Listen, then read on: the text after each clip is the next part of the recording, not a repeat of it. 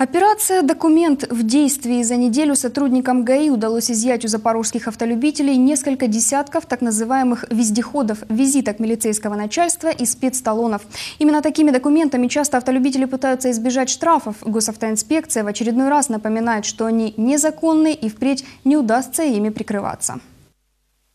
По словам сотрудников ГАИ, так называемые вездеходы получили особое распространение после увеличения штрафов. Автолюбители стали чаще носить вместе с правами визитки силовиков и разнообразные спецталоны, которые нередко на поверку оказываются самодельными. Количество таких случаев увеличилось. То есть люди пытаются всяческим э, образом уйти от ответственности, так как э, э, на сегодняшний день штрафы довольно-таки большие, и люди изготавливают различные то есть талоны, визитки, но ГАИ вновь напоминает, что никакой юридической силы такие документы не имеют и спасти от штрафа за нарушение правил не смогут.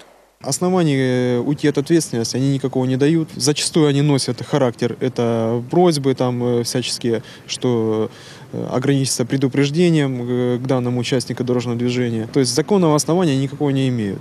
За неделю действия всеукраинской спецоперации «Документ» запорожские правоохранители изъяли несколько десятков таких талонов. Среди них наиболее интересна ярко оформленная металлическая визитка якобы самого Сергея Коломееца, главного гаишника страны. На карточке с одной стороны указаны реквизиты начальника департамента ГАИ, а с другой генерал-майор обращается с просьбой предоставлять беспрепятственный проезд по всей стране владельцу данной визитки.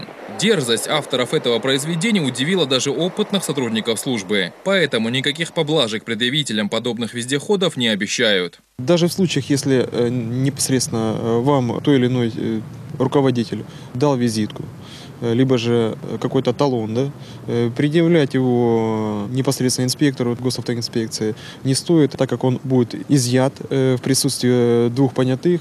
Официально спецоперация продлится ровно месяц, но по словам сотрудников Запорожской ГАИ, это не значит, что впредь подобные документы изыматься не будут.